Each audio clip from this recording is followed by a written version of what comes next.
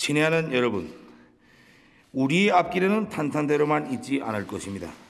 우리가 가는 앞길에는 생각 못했던 도전과 난관, 시련도 막아 나설 수 있습니다.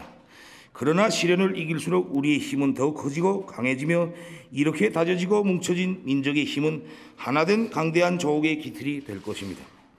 때문에 우리는 그 어떤 역풍도 두렵지 않습니다.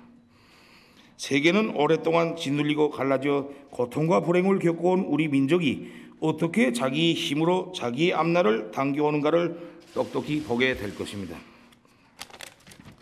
나는 문재인 대통령에게 가까운 시일 안에 서울을 방문할 것을 약속했습니다.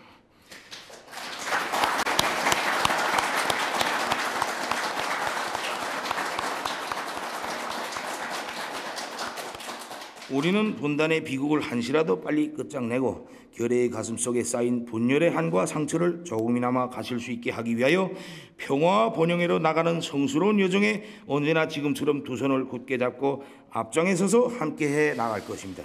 나는 김정은 위원장에게 서울 방문을 요청했고 김 위원장은 가까운 시일 안에 서울을 방문하기로 했습니다. 여기서 가까운 시일 안에라는 말은 특별한 사정이 없으면 올해 안에라는 의미를 담고 있습니다.